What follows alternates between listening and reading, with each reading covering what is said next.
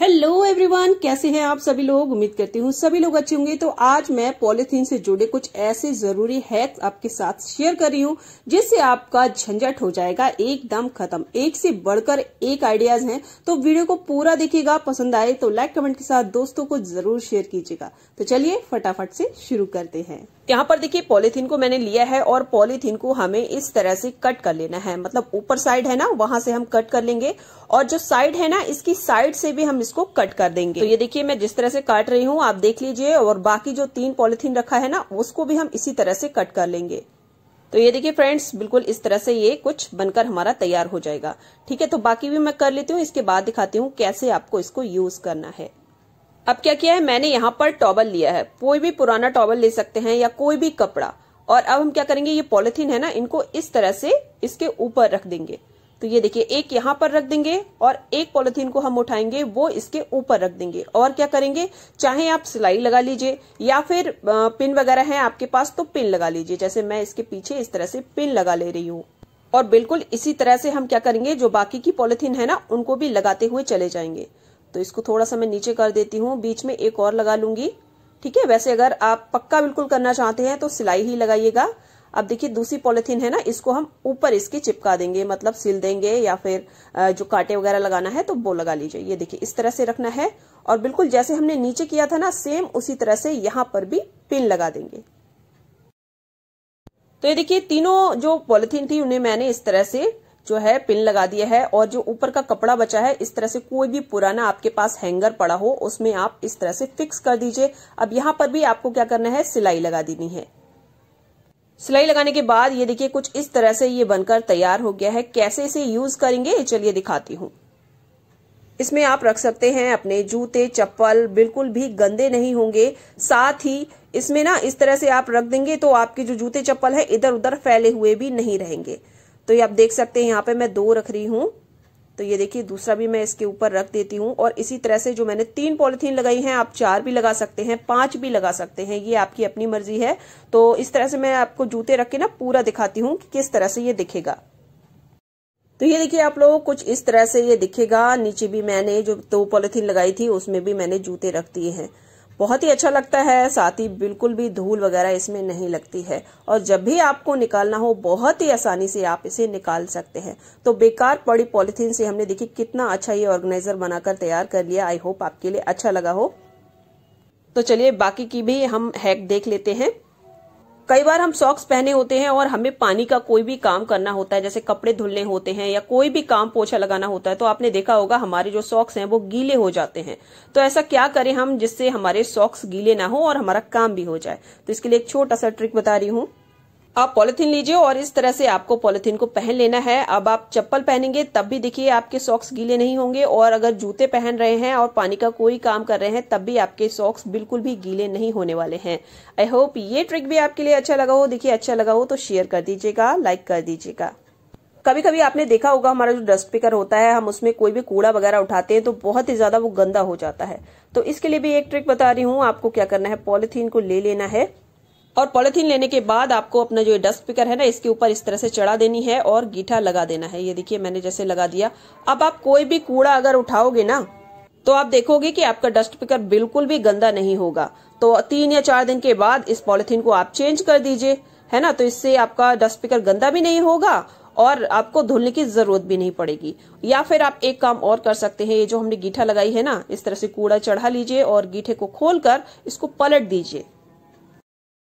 जब आप इसको इस तरह से पलट देंगे तो सारा का सारा कूड़ा भी इस पॉलिथीन के अंदर आ जाएगा। और बस, आपको इसे समेटने की ज़रूरत भी नहीं पड़ेगी और ये पॉलिथीन है, आप अपने डस्टबिन के अंदर फेंक सकते हैं।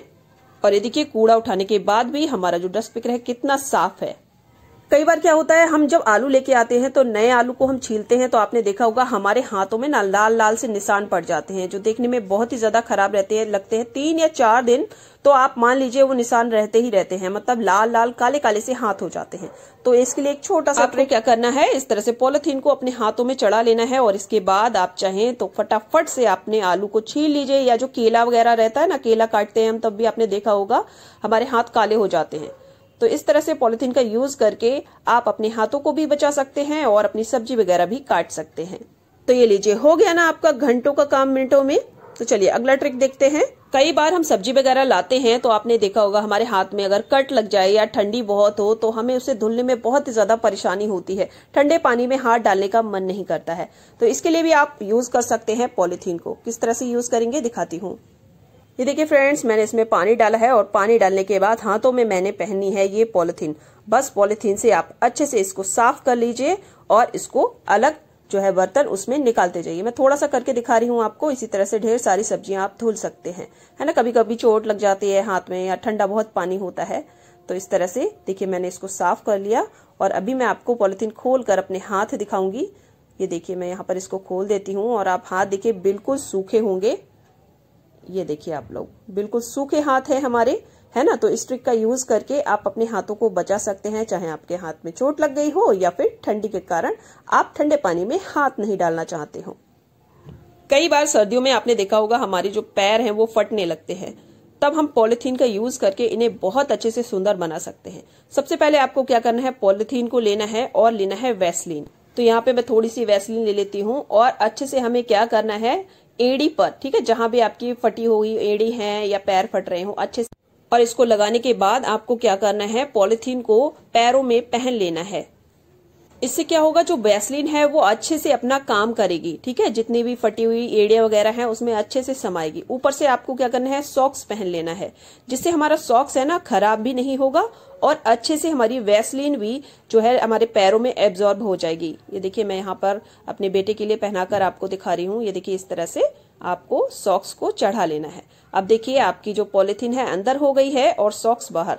ठीक है, जब भी आपको लगे मतलब एक घंटे, दो घंटे इस तरह से लगा रहने दीजिए, इसके बाद आप सॉक्स को निकाल लीजिए और पॉलिथीन को भी निकाल लीजिए। तो है ना, बहुत ही अच्छी ट्रिक तो इसके लिए एक लाइक तो बनता है। कई बार आपने देखा होगा, हमारी जो मिक्सी है ना, ऐसे ही धूल गंदगी खाती रहती है। कभी कवर नहीं होता तो इस तरह की पॉलिथीन को आप क्या कीजिए, इसके ऊपर इस तरह से ओढ़ा दीजिए। आप देखेंगे, ये आपका मिक्सी कवर बन जाएगा, कोई भी धूल गंदगी इसके अंदर नहीं आएगी। तो इसी तरह से आप बहुत सारे पॉलिथीन की यूज़ कर सकते हैं तो इन्हें बेकार समझ के बिल्कुल भी मत फेंकिए, क्योंकि वे छोटे छोटे जो जुगाड़ है ना, हमारी ज़िंदगी में काफ़ी काम आते हैं। ये देखिए, अच्छे से कवर हो गया अब आप इसको चाहे जहाँ भी रख दीजिए, खुले में रख दीजिए या फिर अलमीरा वगैरह में रख दीजिए, आप देखेंगे बिल्कुल ये सुरक्षित रहेगी। कई बार चूड़ी वगैरह हम पहनते हैं तो आपने देखा होगा बहुत ही ज़्यादा टाइट होती हैं, वो हमारे हाथों में अच्छे से नहीं आती हैं, हाथ छिल जाते हैं। तो इसके लिए भी आप पॉलिथीन का यूज़ करके बहुत ही आराम से छोटी से छोटी चूड़ी चढ़ा सकते हैं। ये देखिए, मैंने पॉलिथीन को अपने हाथों पे चढ़ा लिया है और बस हम क्या करेंगे, ये जो चूड़ियाँ हैं, इनको इस तरह से नीचे करते जाएँगे। तो आप देख पा रहे होंगे कितने आसानी से जो है चूड़ियाँ पहनती चली जा रही हैं। ये देखिए, और इसको उतारना भी बहुत ही ज़्यादा आसान हो जाता है। तो बस इसी तरह से आप पॉलिथीन पहन के चूड़ियों को उतार भी सकते हो। तो है ना ये बढ़िया सा ट्रिक? तो चलिए अगला ट्रिक देखते हैं।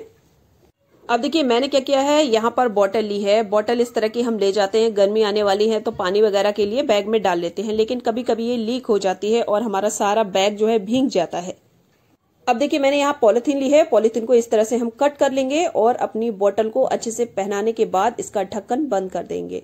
बस ये इतने टाइट से लग जाएगा कि आप इसको इस तरह से डाल दे भी देंगे ना, अपने बैग वगैरह में डाल देंगे तो पानी इसका बिल्कुल भी निकलने वाला नहीं है। होली आने वाली है तो आपने देखा होगा, इस तरह की बड़ी बड़ी पॉलिथीन तो हमारे पास रहती है। तो इनका भी आप बहुत अच्छे से यूज़ कर सकते हैं। आप ना क्या कीजिए, इस तरह की जो पॉलिथीन इन्हें फेंकिए मत, इन्हें रख लीजिए। पापड़ बनाने के काम ये बहुत अच्छे से आती है। जब आप इसमें पापड़ वगैरह बनाएँगे तो देखेंगे बिल्कुल भी चिपकते नहीं है। और किसी कपड़े वगैरह पे आप चिपकाएँगे ना तो पापड़ देखेंगे, छुड़ाने में बहुत ज़्यादा मुश्किल होती है। पीछे से पानी वगैरह लगाना पड़ता है। लेकिन पॉलिथीन का यूज़ कीजिए, देखिए आप कितने अच्छे से पापड़ आपके छूटते चले जाएँगे।